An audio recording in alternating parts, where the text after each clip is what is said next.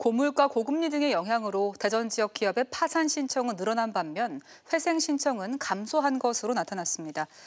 올해 1분기 대전지법에 접수된 법인 파산 신청은 24건으로 지난해보다 2배 이상 증가했습니다.